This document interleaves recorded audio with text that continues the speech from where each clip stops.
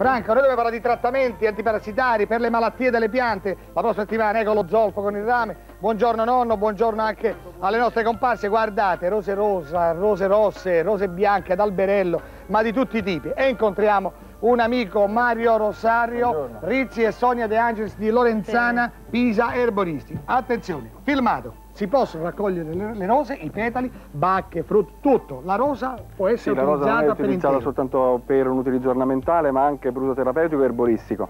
E viene, vengono utilizzate delle rose particolari come la rosa damascena Quindi la damascena, la centifoglia, la rosa moscheta, la moscheta e, e la canina. E la canina. Guardate, loro raccolgono qui queste i petali sono, tutto raccogliendo. Sì, queste sono delle coltivazioni in Turchia che vengono appunto utilizzate per la raccolta dei fiori che vengono distillati per corrente di vapore e vengono raccolti la mattina. E in Italia per... perché non lo facciamo pure noi? Eh, questo si, si, faceva una volta in Calabria. Eh, facciamolo anche noi, dove no. finire in Turchia, eh, insomma. Questa è la distillazione. Quindi vengono raccolte, poi si va, si... Sì, la rosa macena... Vengono distillate queste? Sì, questo è molto importante per chi utilizza del, del profumo di rosa che sia naturale, non sintetico, quindi che provenga dalle rose per un, per un litro di olio essenziale di rosa ci vogliono mille chili di fiori. Una Mille chili per fare un litro? Un litro, sì, circa 8 milioni al litro. 8 milioni un litro al, di questa essenza? Al produttore, sì. Viene conservato in flaconi di vetro, quindi è molto prezioso e la vendita, l'utilizzo è di un millilitro di olio essenziale che in erboristeria viene circa 50.000 lire. 50.000 lire. E una goccia viene prodotta con 30 boccioli di rosa. 30 una goccia di olio essenziale immagini, ha un effetto calmante, antidepressivo, guarisce i dolori dell'anima e del, e del cuore. corpo e del cuore perché contro lo stress, la malinconia, delusioni d'amore, finanziarie, vari, sì, per la pelle secca, anche per la ricostruzione della pelle dopo una ferita, dopo le ustioni. La, la ecco, che sta preparando lei? Sto Vediamo preparando un una maschera. Una maschera una fatta maschera, con? Eh, con petali di rosa che abbiamo raccolto le nostre rose in giardino. Che tipo di rosa? Qualsiasi rosa va bene. Si Qualsiasi rosa, amiche? Si raccoglie un po' di petali, petali in una ciotolina. Si,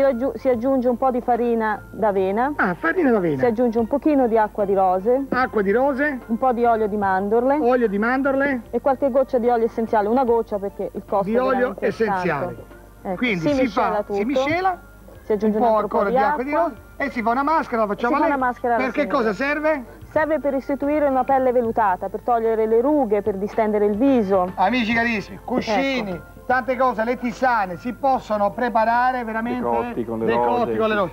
Io vi devo lasciare perché i tempi non sono questi, prima o poi ci allargheranno anche in questo senso. Comunque la rosa può essere utilizzata per intero, foglie, eh. petali, bacche. Sì, tutto. è un fiore meraviglioso. Oh, salutatemi la flora e la primavera, mi raccomando sempre. Buongiorno anche a lei.